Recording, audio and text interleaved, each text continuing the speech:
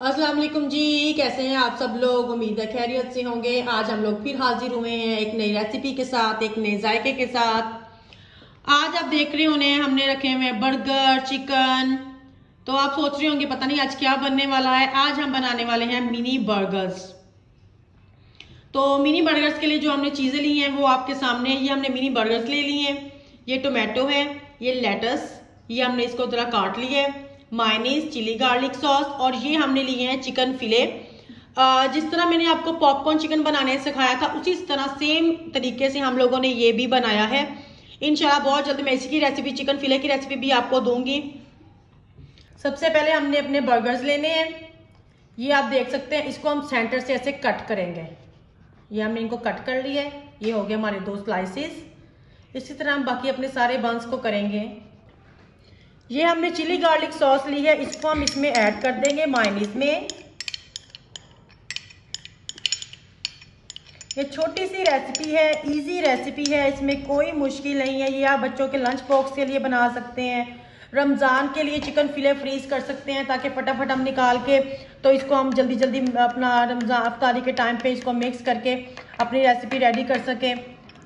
ये हमारी हो गई है मिक्स अब आप ध्यान से देखिएगा हम आगे इसमें क्या कर रहे हैं। अब हमने बर्गर्स को ऐसे खोल लेना है, सारे स्लाइसिस को। ये हमने खोल लिए। अगर हम इसमें एक एक करके करते हैं, फिर हमें टाइम भी ज़्यादा लगता है। ऐसे हमने इसको सारे खोल लिए। ये देखें। अब हम पकड़ के ऐसे माइनेस हम अपने सारे बंस पे लगाएँगे। ऐसे सारे बंस पे को ये देख सकते हैं, ये हमारी ऊपर वाली साइड है, ठीक है? ये हम जो अब हमने ये सारे अपनी माइनिस और जो कैचअप हमने मिक्स की थी, वो हमने इसमें अब ऐड कर ली, लगा लिए सारे अपने बंस पे। अब हम लेंगे अपने चिकन फिले चाहे तो आप चिकन टेंडर भी बना सकते हैं, क्योंकि वो छोटे साइज़ में होते हैं, वो उसमें पूरे आ जाएँगे। लेकिन हमने बनाए थे चिकन फिले क्योंकि हमने उसकी दो रेसिपी तैयार कर ली थी, एक हमारी चिकन फिले की रेसिपी हो गई थी, और एक हमारी बर्गर बाँस वाली हो गई थी, ठीक है ना? अब आप ये देखें ना, अगर हम ऐसे भी मेहमानों को खाली फिले भी सर्व करें तो ये बहुत अच्छे लगते हैं। और अगर हम बर्गर्स में इसमें ऐड करके लगाएँगे तो भी बड़े अच्छे लगते हैं। अब हम इसको करेंगे स्लाइसिस में, ताकि ये हमारे उसमें बर्गर बंस में पूरे आ जाएँ। ठीक है, ये हमने इसके दो दो स्लाइस कर लिए हैं। ऐसे, ये देखें। ठीक हो गया। अब हम, ये मैं आपको दिखाती हूँ। अब हमने इसको ऐसे लेटस लेने हैं पहले। पहले हमने सारे बंस में लेटस ऐड कर लेने हैं। ये देखें, ये हमने अब इसमें ऐड कर लिया है। इस स्टेप के बाद हम लोग क्या करेंगे? हम लोगों ने लेना है एक ये हाफ़ फिले ले लिया है।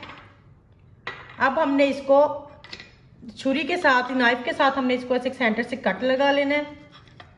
लगा के हमने इसको फैला के पूरे बन पे इसको फैला के ऐसे हम लोग रख देंगे, ठीक है? ये देखें। ये हमने इसको ऐसे रख दिया है। ये अब देख सकते हैं, पूरा हमारा जो बर्गर बन है, वो हमारा पूरा कवर हो गया चिकन के साथ। अब देख ठीक हो गया? हमने एक चीज़ स्लाइस लिया था। ये हमारे पास ऐसे था चीज़ स्लाइस हमने उसको काट के उसको चार पीसीस में डिवाइड कर लिया है। ये देखिए हमने इसके चार स्लाइसेस कर लिए, सिर्फ़ एक स्लाइस था हमारे पास। ठीक है? अब हम इसमें एक एक स्लाइस ऐड करेंगे। ये हमने इसमें चीज़ स्लाइस अपने ऐड कर लिए हैं। हो गए। अब हमने लेटस रखा, उसके बाद हमने ऊपर चिकन रखा देन हमने अपना चीज़ स्लाइस रखा। अब हम इसमें ऐड करेंगे टोमेटो का स्लाइस आप चाहें तो इसमें अनियन स्लाइस भी ऐड कर सकते हैं। ये हमने इसमें टोमेटो स्लाइस ऐड कर दी है। ये आप देख सकते हैं।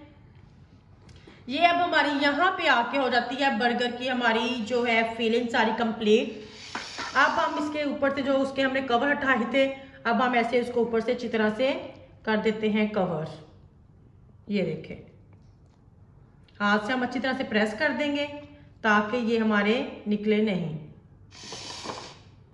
ये देखें। ये हमारे बन के हो गए हैं तैयार। ये हमने पैन एक ले लिया है। पैन के ऊपर हमने ऑयल लगा के हल्का सा इसके नीचे हमने आग हल्की कर ली है। इसके ऊपर हम रख देते हैं बंद। करने को हम इसको माइक्रोवेव ओवन में भी कर सकते हैं, लेकिन उसमें जस्ट हमारे गर्म होके बहुत नरम हो जाते हैं। तो उसमें वो चीज़ नहीं आती जो इस तरह हमारे पैन के ऊपर आती है। ये ताकि नीचे से भी इसको जरा गर्म हो जाए। हमें लगता है कि ये गर्म हो गए हैं तो हम इसको पैन से हटा देंगे। अब हम इसको यहाँ से रिमूव कर देते हैं। देख सकते हैं, ये हमने अपने हमारे बर्गर बन बन के तैयार हो चुके हैं मिनी बर्गर जो हमारे थे। बहुत इजीली हमने बनाए हैं, बहुत ही सिंपल इंग्रेडिएंट्स हैं इसके अंदर। इसमें कोई ऐसी चीज़ नहीं है कि जो बच्चे पसंद नहीं करते या जो आप लोगों घरों में अवेलेबल नहीं होती है। तो इसके साथ ही हमें इजाज़त दीजिए, हमें अपनी दुआओं में याद रखिएगा। हमारे चैनल को लाइक, शेयर और सब्सक्राइब करना मत भूलिएगा। इनशाला फिर हम हाजिर होंगे अगली रेसिपी के साथ।